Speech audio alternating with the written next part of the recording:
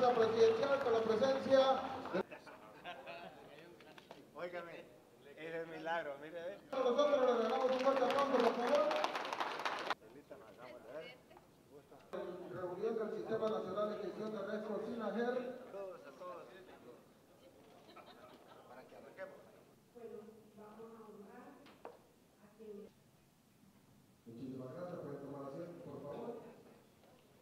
Yo sé que este año anterior se, hubo un desfase, necesitamos actualizarlo ya, entregar esos premios, igual para el año que viene. También la premiación de los municipios que han salido exitosos con el tema de dengue no debe quedarse entre nosotros. Yo quisiera que todo el mundo en Honduras se dé cuenta quién es el líder o lideresa de ese municipio que logró cambiar esa cultura y de repente que ese premio lo compartamos también con los líderes que les han ayudado a ustedes, alcaldes y alcaldesas. Hay lugares donde es aguda la situación y difícil, entonces también hay que tomar en cuenta eso. Así un brochazo rápido, porque después se lo vamos a ir a explicar, hablábamos con Cano, a las, uh, también con las mancomunidades. Yo les sugiero a las mancomunidades que tengan también un técnico en el tema de producción o en el tema de eh, organización de instituciones financieras, porque los recursos tienen que fluir rápidamente. Dele rapidito a la otra, a la otra, a la otra. Este, este uh, cuadro nos indica, tenemos 2.475 millones solo para el agro, pero los otros equivalentes para llegar a los 3.000 nos permiten tener un fondo de garantía de tal manera que el banco, la cooperativa o la caja rural tendrá garantizado de ese crédito que se dé el 70%. ¿Así va? ¿Por qué? Porque en la agricultura no es fácil asegurar la cosecha, mucho menos cuando falta agua. Y en este periodo de, de, un salto hacer agricultura en casas mayas, en invernaderos, en macrotúneles, con sistemas de riego, es un cambio cultural que necesitamos estimular y que arriesgamos capital nosotros como Estado para provocar esa nueva forma de hacer la agricultura. Y además, esta tasa de interés 8.7 al año no la van a encontrar en ningún lado. Prácticamente le estamos regalando a la gente, si van a comprar un sistema de riego o algo, por ahí por el orden del 40%. Pero no queremos que la gente sienta, me cuesta 100 y me van a dar 40. No, queremos que vaya dentro del financiamiento. Porque al final lo que va a significar esto es tener una agricultura más segura. Sé que algunos de ustedes se han dedicado a construir sistemas de reservorios y han estimulado a los productores para poder dar ese salto. Ese es el futuro de la agricultura. No hay otra forma. Ahora démosle a los productos financieros. Dele, dele. No, ¿dónde están unos dibujitos? Dele para abajo. No, dele, dele. No, se fue muy rápido.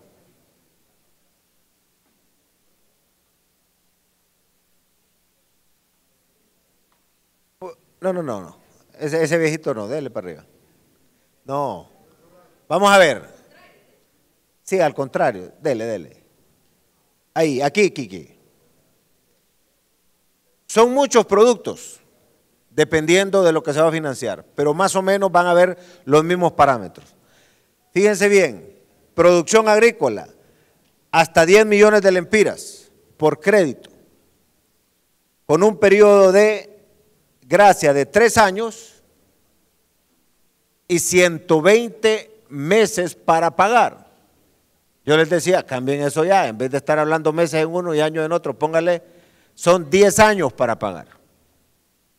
Óigame, 10 años para pagar y 3 años de gracia. Por lo menos a mí nunca me han prestado dinero así. Pero la tasa de interés es 8.7. Ok. Producción pecuaria es básicamente lo mismo. Agroindustria, por ejemplo, un CREL, aquellos que hay allá en Lloro, perfectamente se puede hacer a través de el, que compra la leche y ahí el productor va pagándole y se le va eh, descalfando, así, así decíamos nosotros, eh, reteniendo, ¿verdad? Démosle maquinaria. Ahí está, 84 meses de plazo, 12 meses de gracia. Eso es porque inmediatamente le tiene que, que dar. Genética. Los que van a producir leche o carne, si hablamos de ganado vacuno, ya no es cualquier tipo de raza. Usted tiene que encontrar los mejores cruces que se dan en las condiciones de Honduras. Pero para eso necesitamos no andar trayendo toros que los traen desde Canadá y cuando les dé el calor aquí se mueren. Se han muerto unos toros que vinieron de raza Angus, creo que eran Angus rojos, Angus rojo, y felices. Yo también feliz, dije yo, pucha, tal vez algunos dejo saltos a las vacas mías, pero con el calor se murieron. O si los pico una garrapata, también, también. Es como alguna gente de alguna gente de la ciudad, algunos políticos de la ciudad, no los vayan a llevar a algunos municipios donde es garrapata porque les da, en serio, les da, así es, así es. Otros que son todoterreno y ya se inmunizaron, no tienen problema. Pero a más de alguno, cuando estaba chiquito, aunque nació en el campo, saben que si lo picó una garrapata, lo complicó. Entonces, ¿por qué les hablo de eso? Porque queremos financiar la genética, el cambio de la raza en Honduras. Y queremos financiar la inseminación artificial y también los embriones. Y podemos organizar a los productores ahí para poder mandar las empresas. Yo le decía a los de Banprovi y a la gente de agricultura, llamen a todos los que venden sistemas de riego y díganles, aquí está este producto. Para que califique necesita estos y estos datos. Váyase donde el alcalde, que le reúnan los que pueden tener interés en eso, hágale el estudio y una vez que califica lo trae y después solo va a verificar y le entrega el dinero. Créanme, esa es la forma de hacer la agricultura de ahora en adelante. No hay otra. En el tema de, aquí está el sistema de riego, igual 10 años para pagar, imagínense, 10 años para pagar, 3 años de gracia. Capital de trabajo, 3 millones de lempiras, 36 meses. Dele el otro, parece que había otro ahí. Ahí está para café, hortalizas, cacao, marañón, palma aceitera. Estamos haciendo producto financiero para cada actividad. Porque yo me acuerdo una vez, unos agentes de San, Andrés, un, grupito de productores, llegaban, como yo era diputado, llegaban donde el político para que les dijera, dígale a los de Banadesa que nos entreguen el crédito a tiempo. Y era agosto y no les habían entregado el crédito para sembrar maíz. Imagínense. Agosto. Eso no puede ser. Pero aquí quiero destacar algo este dinero ya va a estar disponible. ¿Cuándo lo lanzamos? No, no, no esperen, que ya esté listo y, y hacemos la promoción. Pero yo quisiera que ustedes, alcaldes, hablen con las cooperativas que ya están en su lugar. Hablen con las cajas rurales que ya están fuertes. Hablen, ah, usted tiene allá aquel centro financiero hablen con cualquier institución que ya tenga esa formación robusta, se certifica y por ahí le ponemos. Aquí, está el alcalde de Marcala, lo vi. Ah, ¿Se acuerda cuando fuimos a Sabanetas? ¿Sabanetas es de Marcala? No. ¿Se acuerda? Usted estuvo ahí, creo yo. El asunto es que haya una caja rural. Comenzó con 6 mil empiras. Ahora le está vendiendo la comida a la escuela. Creo que son 60 escuelas. Nosotros de Banprovi le prestamos un millón cien mil empiras porque ya tenía un capital de 6 millones. Con Secrux anduvimos con vos allá. En fin, esa es la red que ocupamos, la cooperativa allá del sur de la Empira. Ellos tienen más pisto casi que Banco de Occidente. Como todos los que mandan remesas ahí lo guardan. Pero todo ese dinero, ese, ese músculo que tienen, lo necesitamos. Lo que yo les voy a pedir, eh, perdón, alcaldes, ustedes conviértanse en gestores y si pueden colocar un capitalito semilla para crear una caja rural o que la, la junta de agua se vuelva más robusta, háganlo, pero no se metan a administrar préstamos ustedes de este tipo. Consejo sano. Ahora, si lo hacen en lo particular, ya es otra cosa. Ustedes pueden tener acceso también en lo particular a esto. Entonces, esto comienza una campaña fuerte, pero para llegar allá donde el productor lo necesitamos a ustedes. Ustedes tienen, me imagino, ahí en el registro cuáles son las instituciones que se dedican a esto. Denle el otro. Aguacate. Métanse en eso, eso es altamente rentable. Y el ministro ha agarrado como un tema propio eso. ¿Y ahora cuántas hectáreas tenemos? Mil y pico y la proyección. Cuatro mil hectáreas más de aguacate. Tenemos que sustituir un montón de dólares que mandamos a México para traer aguacates aquí un montón de frutas y verduras que vienen de Guatemala que los podemos producir aquí. Y si alguien ya es bueno para el sistema de riego y ya está acostumbrado, demos el otro salto. Vamos a tener 70, ¿cuántas hectáreas de invernaderos o agricultura? 55 hectáreas. Vamos a comenzar con proyectos, con gente que ya sabe el sistema de riego por goteo con macrotúneles o invernaderos de cuánto por cuánto? 13 metros de ancho y 150 de largo. Es una gran estructura. Eso lo vamos a financiar con su sistema de riego incluido, para hacer agricultura controlada. Eso es casas maya.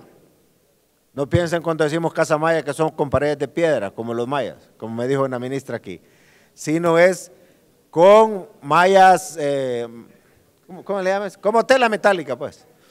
Como la...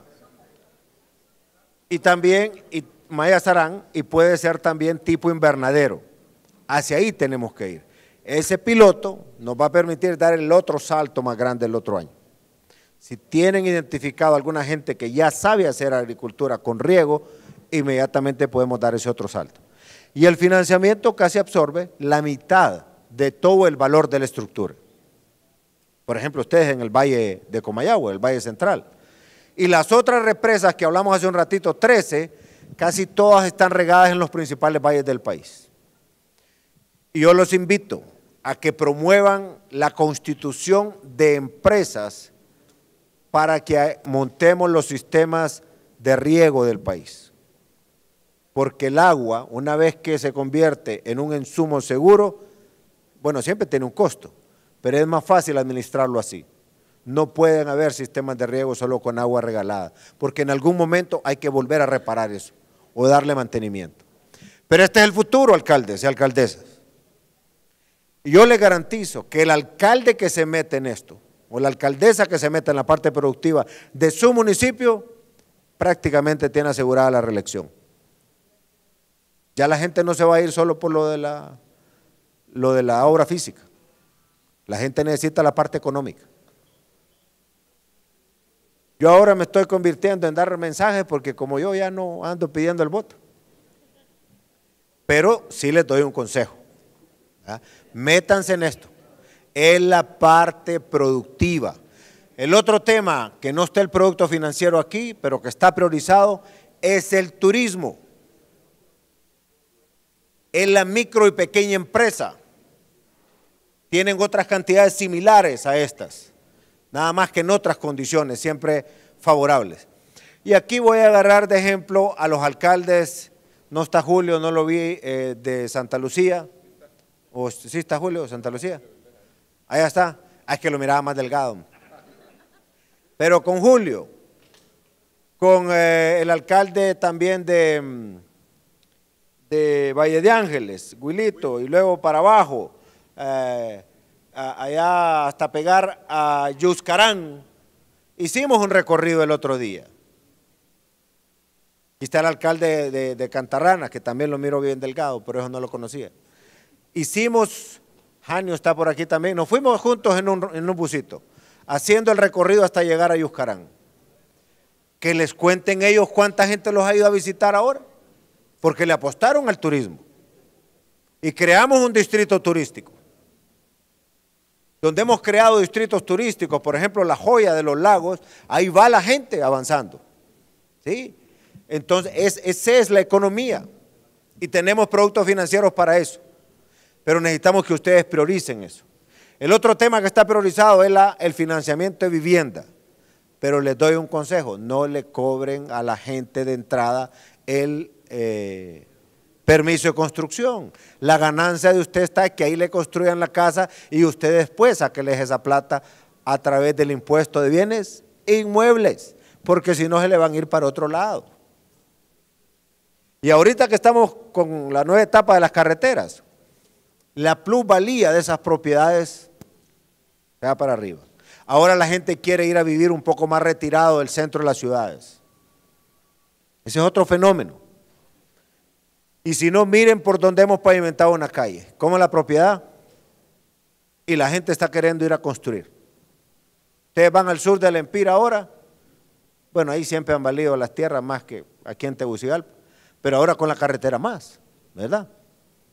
Entonces, son temas que ustedes tienen que sacarle provecho.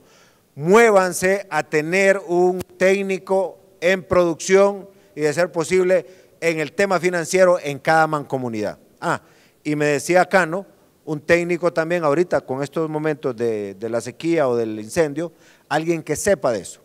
La ENACIFOR va a dar cursos de dos meses o menos para preparar especialistas en este tipo de cosas. Luego tenemos en el sede en Comayagua especialistas en manejo de riego y también en alimentación animal. Todo eso va a ir a la par. Tenemos las becas 2020, estamos mandando gente a Colombia también y otros estudiando aquí. Hoy estuve en Gualaco, un muchacho que, tiene aquella propiedad enfrente de las cuevas de Susmay. Allá se fue a Panaca, Colombia. Ya regresó con otras luces. Y así lo hemos hecho con varios de los distritos turísticos. Entonces, turismo, vivienda, agro, MIPIMES son prioridad para financiamiento. En el caso de ustedes, créanme, si se meten en la parte productiva de la gente, la gente los va a querer más de lo que los quieren ahora. Y a la hora de votar, la gente va a decir, y entonces, ¿dónde está mi futuro? En que mejore su economía. Alguna gente de mi partido se me va a enojar porque como hay otros de otros partidos aquí van a decir, les está dando consejos para que no gane aquí. Pero bueno, yo lo que quiero es que gane Honduras cuenten ahí con esto otro. De ahí no podemos hablar hoy de cantidades específicas para cada alcalde, porque al final herimos susceptibilidades, porque unos son más grandes, otros son más pequeños, pero con más dificultad. Entonces la parte técnica ya está definida para apoyarles en el tema del dengue, pero me tienen que decir cuánto van a poner ustedes. En el tema de todos estos otros proyectos también. Vamos a hacerlo en Junta. ¿Saben qué es en Junta? Va? Bueno, ahora está más de moda en pareja, pues.